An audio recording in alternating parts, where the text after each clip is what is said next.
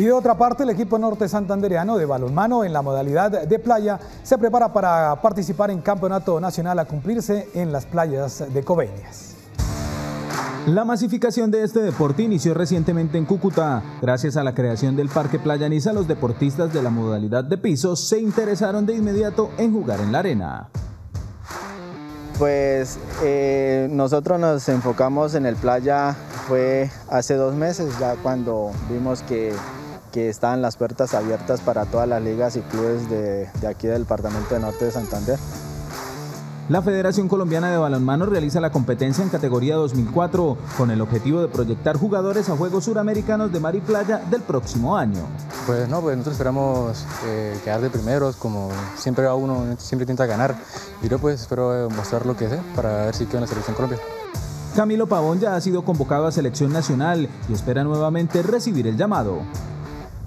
Eh, representar a la selección Colombia sería primero un sueño para mí, porque ya es presentar no un departamento, sino un país, y es algo que uno tendría una gran responsabilidad como jugador al presentarse en torneos de alto nivel.